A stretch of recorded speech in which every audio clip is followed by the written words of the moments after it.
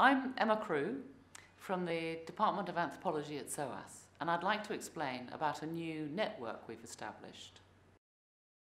This network is called the Global Research Network on Parliaments and People.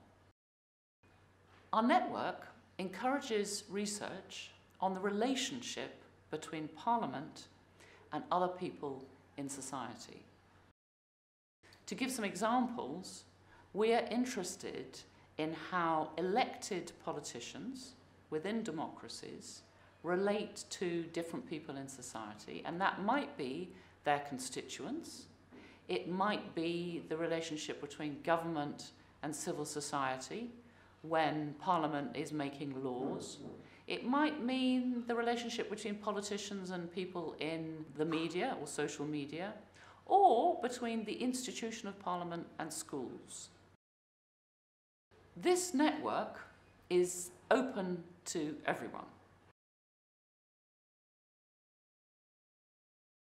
We're running the network with a team who are based in the University of Leeds and the Hansard Society in the UK, JNU in India, and the Enlightened Myanmar Research Foundation in Myanmar, and finally Forum for Social Studies in Ethiopia.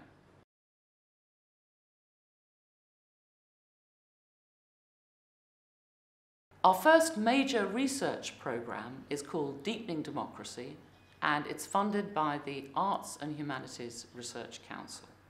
This program's goal is to create opportunities for national scholars, activists, artists and filmmakers in two politically fragile states, Myanmar and Ethiopia, although we would also like to encourage collaboration between those countries and their neighbouring countries.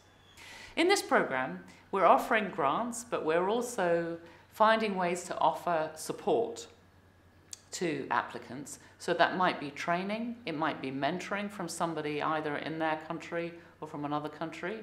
It might mean that we can give advice about, for example, international publishing and really, we encourage people to let us know how we or our partner organisations in, the, in their two countries, MREF and FSS, can support those applicants or grantees once they get a grant. We're interested in the relationship between arts and politics.